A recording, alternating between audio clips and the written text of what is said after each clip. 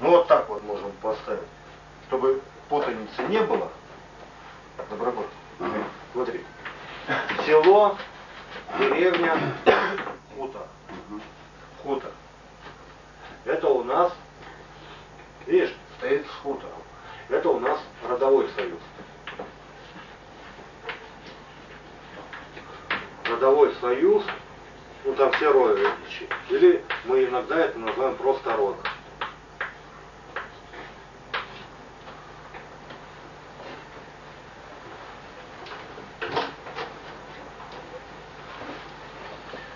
Это с. Когда у нас просто село, деревня, ну уже заметьте, а село, деревня, оно может состоять из нескольких хуторов. Хуторов. Ну там улицы это понятно, это как селились в улице, лицо в лицо. У нас уже здесь что? Племянники пошли. То есть здесь уже как бы много хуторов. Это у нас будет уже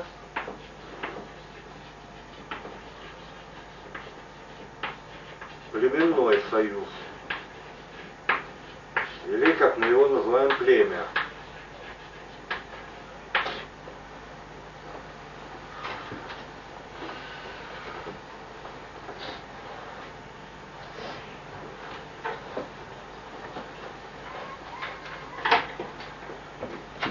Когда у нас идет город, село,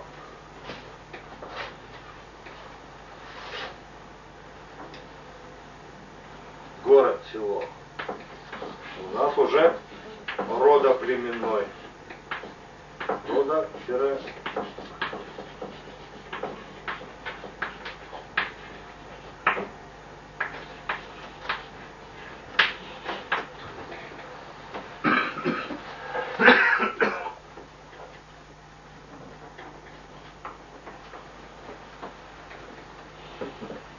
А когда уже начинаются родоплеменные союзы,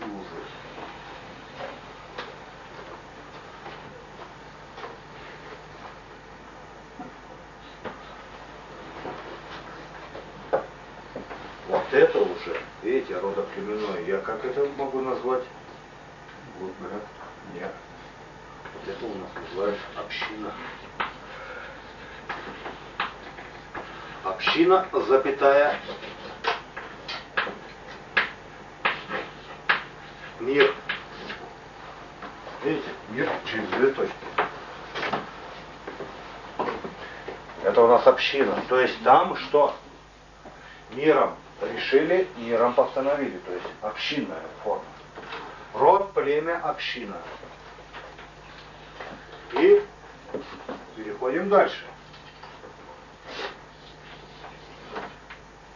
Весь город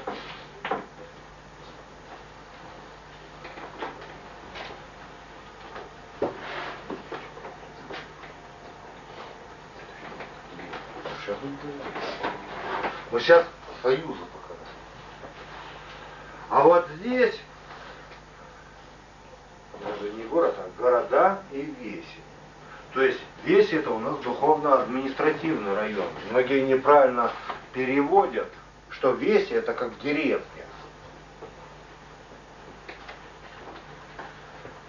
По городам и весям многие просто переводят как по городам и деревням. Хотя весь это все равно, что сейчас бы мы сказали губерния, область, край. Здесь весь в этом. И заметьте, и там объединяются рода, племена на основе чего? Одной веры, языка, культуры, традиций и так далее. И вот эти уже родоплеменные союзы, они объединены свыше. А то, что у нас на поверхности, мы это называем как народ. Вот так. Это у нас народ.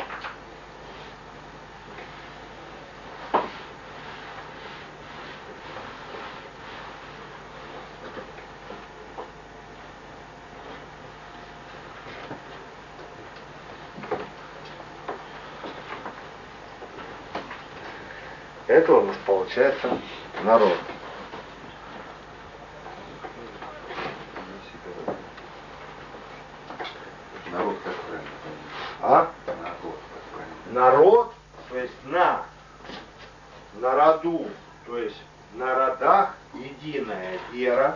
Единый язык, единая культура, единая традиция. Да, то есть основанные на родах.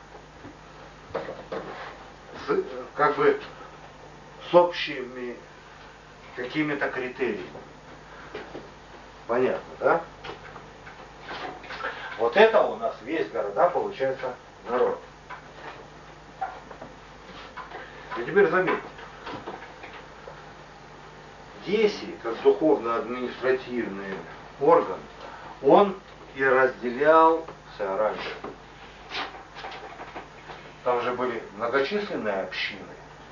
Межобщинные. Народы управлялись чем? Народы управлялись. Устоем.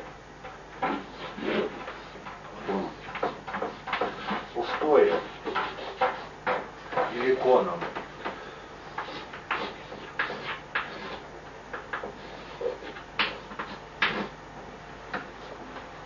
Устоем коном. Община управлялась копой. Вот где у нас родоплеменной, вот здесь у нас копа. Отсюда и копное право, то есть общинное право.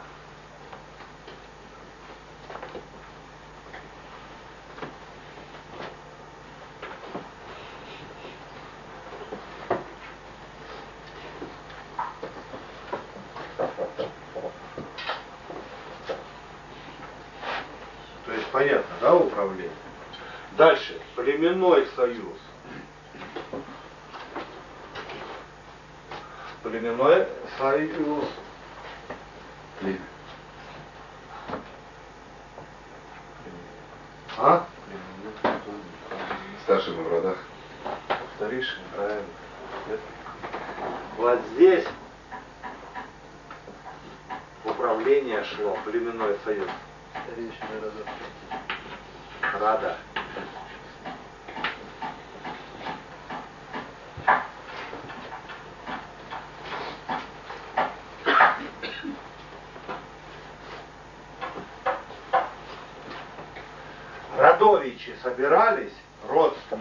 Старшие в каждом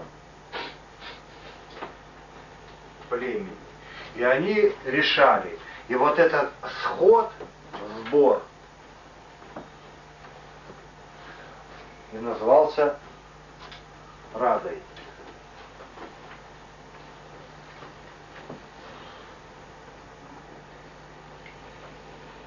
То есть, если мы возьмем, я еще не дошел до того,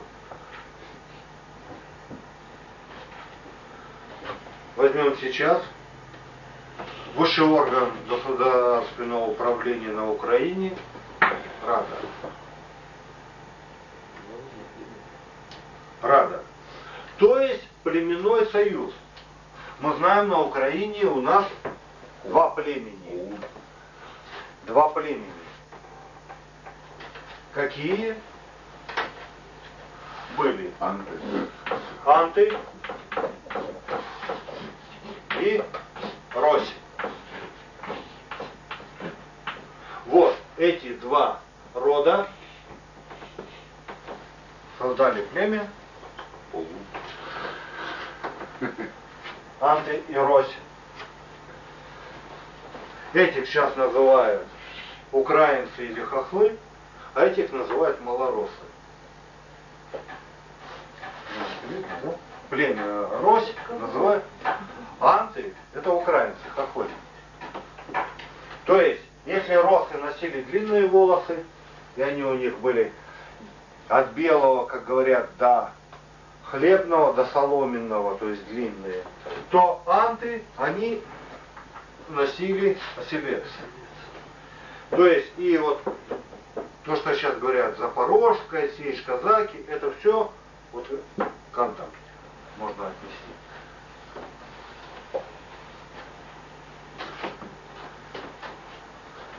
А родовой союз, род, он управлялся старцем.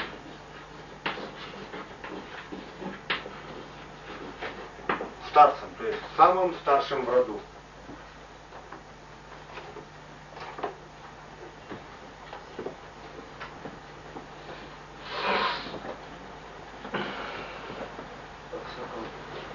М?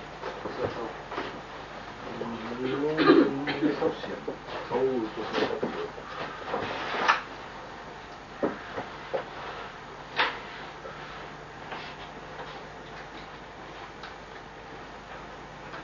И вот, видите, веси города. А теперь я пишу просто веси.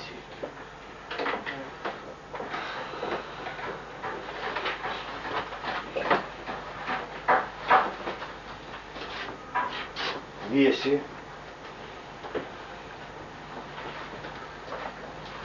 Они объединяли народы расы. Или великой расы. Веси объединяли народы расы.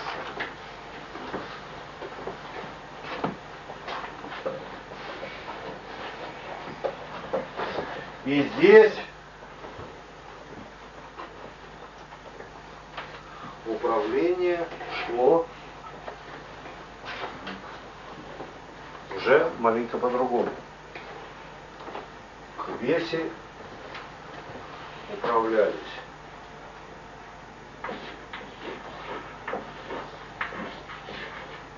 веды, то есть мудростью, все собирали в собор, то есть, понятно, да, собор, когда собирают кого? Хранителей устоев и хранителей иконок. М? Князья как бы собираются. Князь. Да. Хранители устоя, устоев, и как чистые, светлые хранители устоев, их называли мужи боярые, то есть, ну, Ярила же светлый, муж бояры, это потом трансформировалось в боярин.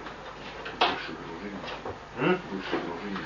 Ну, как правило, мужи бояры это были также главы родов, копы.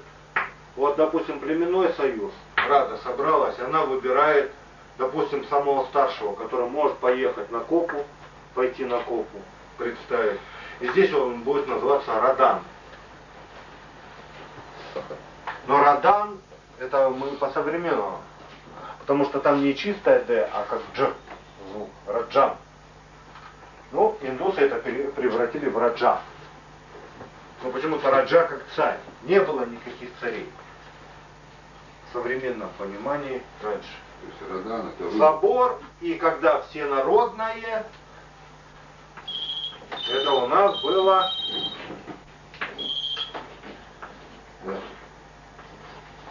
Повтор признал. всенародное, когда решали какой-то глобальный вопрос. Вече.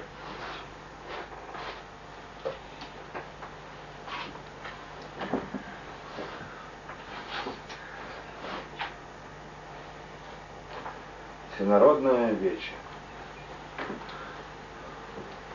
Так вот, веси, веси, сами веси, они объединялись во что, видите, народы?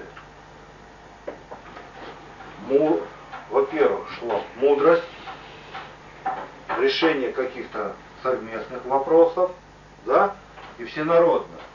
То есть, раз всенародное, значит, всеми родами, всеми народами. Значит, это был родовой принцип. А, значит, это все держалось мудростью, устоем Это все называлось вот это. Одним словом, сейчас я открою. Вот это.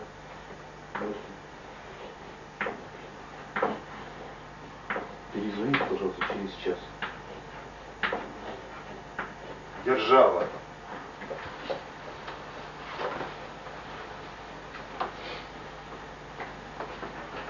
Попозже. Перезвоните, пожалуйста, срок.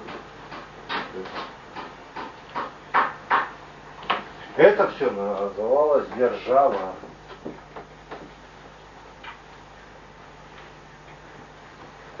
То есть многие пытаются по незнанию привязать, что держава, страна, государство. Это все неверно. Государств славян никогда не было.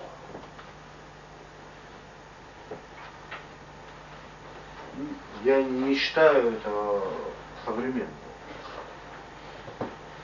То есть государство у нас было при Василии Третьем, Иване Четвертом, при Борисе Федоровиче Рюриковиче, которого обзывают Годуновым. Вот при нем было государство. До этого была держава. Поэтому и говорили Московия или Московское государство. Там был государь.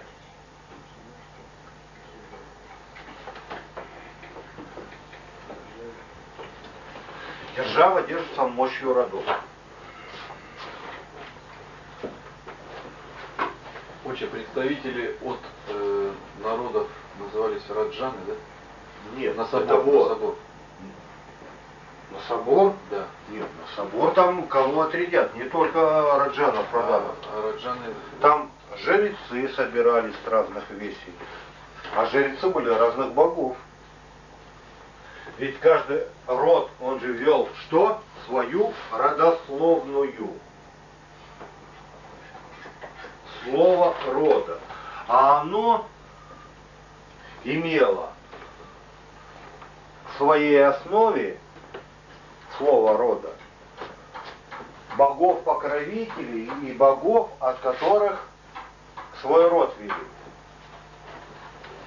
То есть поэтому богов было множество, но все они объединялись в одно понятие рода. Никто же не разделяет, будем говорить, вот я прадеда буду почитать, а про прадеда нет. Такого не было. Вот она, наша, как бы, мирооснова.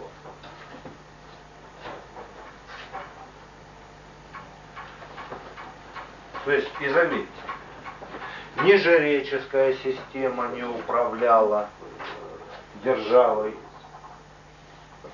ни собор не управлял державой, ни вечий не управлял державой. Но при этом держава была непобедима. То есть как бы как такового управления нет. Никто никем не управляет. Всем управляет только одна система.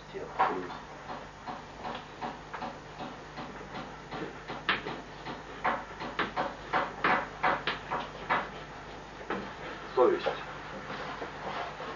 Потому что совести и боги, и люди, и человеки в нем да.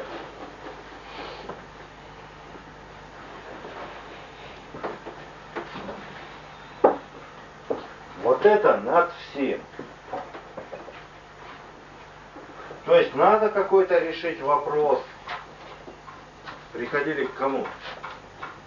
Приходили к жрецам. Жрецы были везде.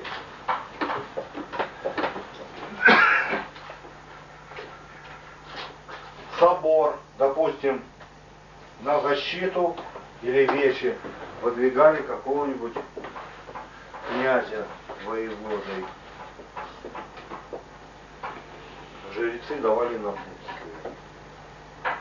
То есть без жреческого напутствия, без слова жреца ни одна армия рать в бой не шла. Потому что считалось без Божьего благословения делать нечего.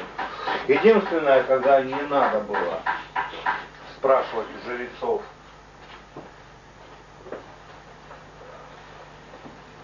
благословение и прочее, это когда шла агрессия, нападок на какой-нибудь род, на племя и прочее. Там свои. В роду, он одновременно был и старцем, и жрецом.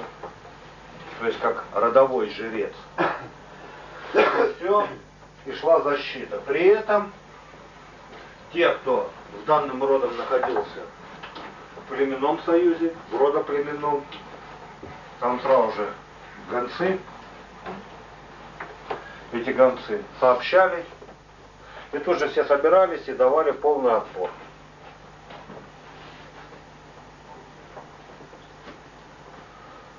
То есть здесь все понятно.